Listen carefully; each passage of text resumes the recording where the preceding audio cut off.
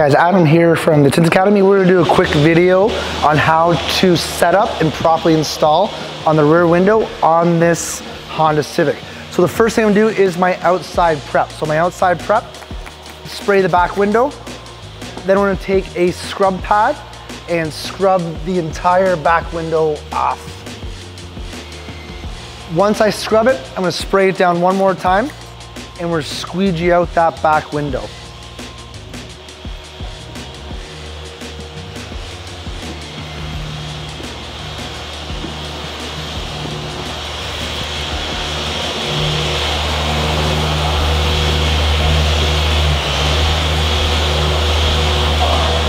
Now, once I do my outside prep, we're gonna do what's called a dry shrink.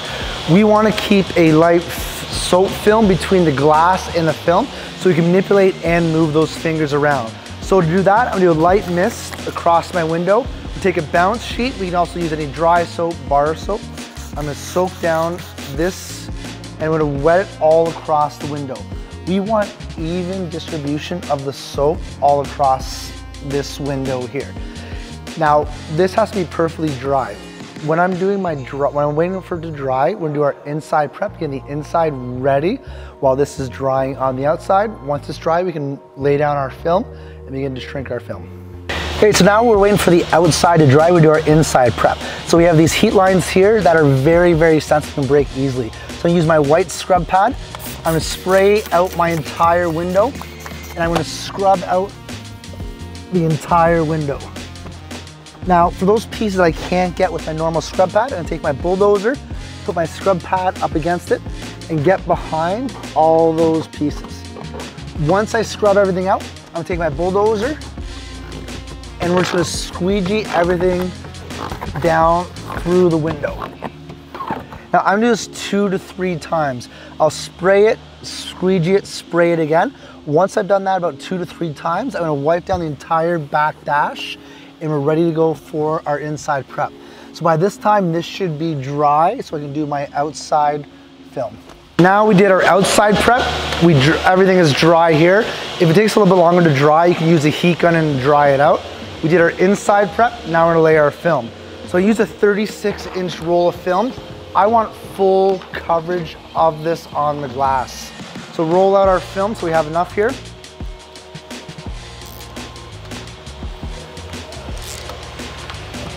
And now I'm gonna do what's called a rough cut. So once I lay out my film, I'm gonna line everything up on the glass.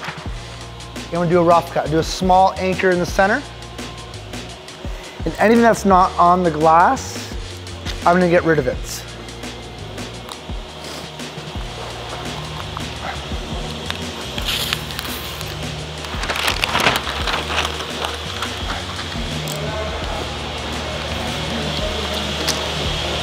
Now we have everything on the glass, we're gonna set it up. So I'm gonna pull my hand in the center, pulling that film across and drawing a line. Pull this center up here, pull it across and drawing a line. Now we wanna build out our four quadrants. So we have that line across the center. Take my hard card and reinforce that line. Then come down the center, this way, and across this way. So in this pattern, we're gonna build the letter H. Come down here, and build our letter H. So we did a line through the center and a line on the side. Once I make that, I'm gonna do one more line down the center of the actual piece of film. So down the center, up the center. This is gonna be making us four quadrants. So now I'm gonna focus on these four quadrants across here. Remember, we do a factory edge of factory, so keep everything going vertical down. Now my only focus is shrinking this quadrant here. Once I've done this quadrant, we'll move up to this quadrant across the top. So now once I'm done this quadrant, we can move on to our next quadrant. This is completely shrunk, so I'm good to move on to this one up here. This side and this side's done, I'm gonna move on to my other side.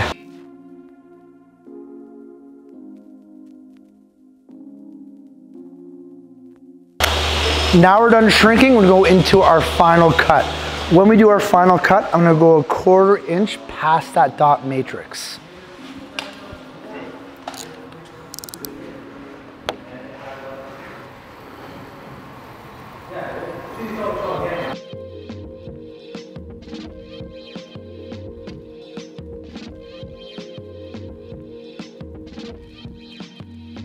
So once I made my final cut, we're doing what's one called a wet shrink. So I'm gonna lift my film, spray underneath. The purpose of doing this wet shrink is that we get rid of any kind of fingers. A lot of guys will skip this step, but we find it very important during our courses so we can minimize any fingers coming through the actual film. So once I wet underneath it, I'm gonna spread my film back out. With my hand, get rid of all these big water pockets. And with my hard card, reinforce and redraw my H and push all that excess water out from the film. And then come across here. So we still have those fingers, if I were to go in and install that right now, we'd probably get a couple fingers coming through that film. Come across here and push all the rest of that water out so we can just really attack those fingers off. So I'm just gonna run my heat gun over top and we're gonna get rid of any kind of excess finger and cross. Now, if you do have an issue getting fingers when you're installing your rear window, we suggest you can do this one or two more times more just to make sure you don't get any of those fingers popping up.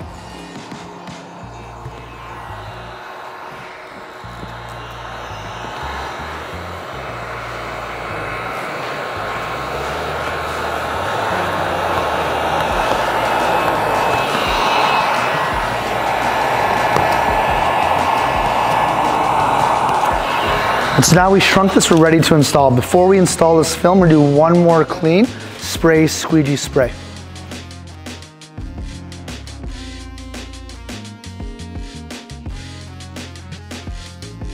So now we have the film on the glass. Before I take a squeegee to it, I'm gonna spray down the glass. With my hand, I wanna get out any big pockets. If I take a squeegee to this, we could cause crease or damage to the film. So once I get all these big pockets out, I'm gonna take my bulldozer and I follow my same H pattern.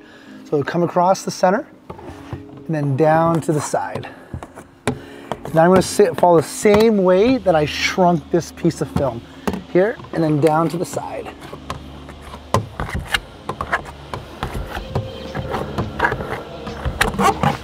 And then we're gonna come straight up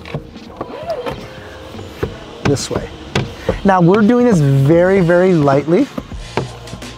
Once I do my hard squeegee, we're gonna hard squeegee it here. So I'm gonna spray down my film one more time and do a hard squeegee. So with my hard squeegee, we're actually gonna follow the heat lines if I go over top of them like a speed bump, we can move air, which can cause a little bit of peanuts.